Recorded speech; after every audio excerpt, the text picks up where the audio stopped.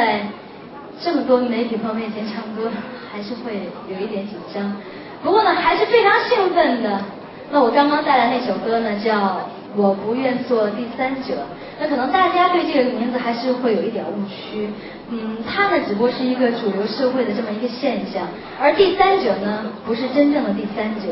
只是当故事接近尾声的时候，我们才有意无意间成为了这个多余的第三者。嗯，或许我们所有的人都成为过这所谓的第三者吧。呃，不过呢，我呢作为用音乐临摹生活的这么一个代表，是非常坚持与相信真爱的，所以我不愿做第三者。